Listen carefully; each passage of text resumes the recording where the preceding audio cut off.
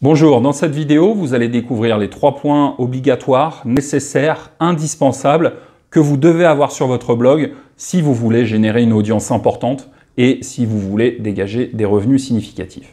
Alors, ce que vous allez découvrir ici, eh bien, c'est que si vous vous battez euh, pour le trafic et que vous essayez sans arrêt des formules miracles, ce que vous allez découvrir, en fait, c'est une bonne nouvelle puisque vous allez comprendre ce qui ne va pas sur votre blog. Et surtout, vous allez également comprendre pourquoi parfois des sites qui ont l'air moins bons que le vôtre ont plus de succès que le vôtre, ce qui peut être assez agaçant. Vous allez comprendre pourquoi vous pouvez avoir éventuellement ce problème. En bonus, vous pourrez télécharger à la fin de cette vidéo les slides de cette présentation pour pouvoir euh, la relire tranquillement chez vous. Alors, le truc classique des blogueurs, c'est quoi? Eh bien, vous avez eu une idée de business, vous vous êtes précipité à créer du contenu, et puis, euh, voyant que la mayonnaise ne prenait pas, que l'audience n'était pas là, que les ventes n'étaient pas là, vous essayez de mettre en place des actions trafic, des actions promotion pour faire connaître votre site. Donc vous tentez des astuces, vous tentez des hacks, vous tentez des méthodes trafic. Et euh, malheureusement, euh, ça bloque toujours. Donc c'est une situation qui est extrêmement courante je vais vous expliquer pourquoi vous avez ce souci, pourquoi malgré les astuces trafic, vous n'avez pas de trafic, ce qui est quand même paradoxal. Eh bien, pourquoi donc Eh bien, euh, pourquoi votre trafic bloque euh, au niveau des ventes et euh, au niveau de l'audience? Ben, Tout simplement parce que les astuces trafic ne sont qu'un seul élément du trafic. Okay C'est qu'une seule chose parmi les trois que vous devez avoir sur votre site. Donc il vous manque deux autres choses que je vous explique maintenant. Pour comprendre ça, mettez-vous juste un instant à la place du visiteur. Le visiteur, qu'est-ce qu'il fait? Eh bien, il remarque une de vos actions pour faire connaître votre blog. Par exemple, vous faites de la pub Facebook et vous envoyez un visiteur vers votre blog. Et là, imaginez que ce visiteur arrive sur votre site et imaginez que votre contenu soit moyen que le visiteur ait déjà l'impression de l'avoir vu quelque part ailleurs, euh, que euh, ça n'est rien d'original ou que ça soit assez peu qualitatif, eh bien finalement, le visiteur va repartir et il ne va pas revenir. Et donc vous avez un problème de passoire, c'est-à-dire que vous envoyez un flux euh, de visiteurs sur votre site, mais les gens repartent aussi vite. Donc finalement, l'action trafic que vous avez mise en place ne sert à rien dans ce cas-là. Donc, c'est pas euh, juste envoyer du trafic vers votre blog qui va vous permettre de construire une véritable audience. Ça passe aussi par du contenu qui doit valoir le coup, que les gens aient envie de lire.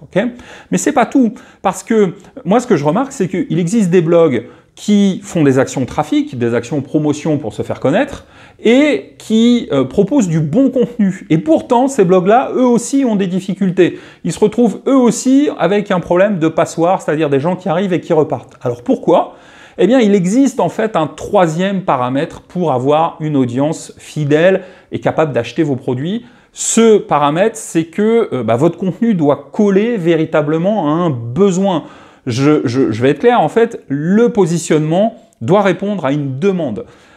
Si par exemple vous proposez un blog sur les tournevis cruciformes en faisant plein de pubs Facebook, plein d'articles invités, plein d'articles collaboratifs, et que en plus de ça vos articles font référence sur les tournevis cruciformes, je vais vous dire un truc, il y a peu de chances que vous ayez du succès puisque les tournevis cruciformes ne vont pas intéresser suffisamment euh, de monde. D'accord? Donc c'est pour cela que euh, bloguer sur votre passion est un conseil qui est dangereux. C'est un conseil qu'on entend souvent et que moi je donne jamais. Parce que euh, bah, si vous partez sur votre passion, vous pouvez vous retrouver dans une niche qui n'est pas porteuse. Alors j'ai parlé des tournevis cruciformes, c'est très caricatural, mais on voit très souvent des gens qui partent dans des thématiques qui sont absolument pas porteuses sur Internet et qui comprennent pas pourquoi ça ne marche pas. Et eh bien tout simplement parce qu'il n'y a pas de marché. Donc ça, c'est le premier problème. Et le second problème, c'est que vous pouvez attaquer une niche qui est porteuse, mais avec un mauvais angle. Je vais vous donner un, cas concret que j'ai eu en coachant une personne. Cette personne, elle était partie sur euh, l'éducation des enfants, les cours à la maison, et elle avait orienté son contenu vers les professeurs. Sauf que les professeurs qui travaillent dans les écoles vont pas dépenser leur propre argent pour s'acheter des formations, et en plus de ça, ils sont tenus au niveau des programmes et des méthodes d'enseignement. Donc finalement, il valait mieux orienter son blog pour les mamans qui veulent faire cours à la maison et qui cherchent du matériel pédagogique. Donc vous voyez, c'est aussi en fonction de l'angle d'attaque que vous prenez que vous pouvez réussir, soit échouer. donc pour avoir une vraie audience et fidèle, il vous faut donc trois choses en résumé. Le premier, euh, la première chose, c'est ce que je viens de vous dire, il vous faut avoir le bon positionnement pour répondre à un besoin, pour répondre à une demande, pour répondre à un problème qui est réel avec des gens qui sont prêts à dépenser de l'argent pour régler ce problème. La seconde chose, c'est que vous devez proposer du très bon contenu intéressant pour être crédible, d'accord? Ce très bon contenu, ce contenu intéressant, ce contenu qualitatif va convaincre votre audience de votre expertise. Les gens vont vous faire confiance. Si les gens ne vous font pas confiance, ils vous achèteront jamais rien, d'accord? Et le troisième point, c'est que vous devez faire la promotion de son contenu pour vous faire connaître, donc en utilisant des techniques de promotion de contenu blogging. ok? Donc, merci pour la théorie André, mais comment faire en réalité pour mettre en place ces trois conseils, ces trois piliers du trafic?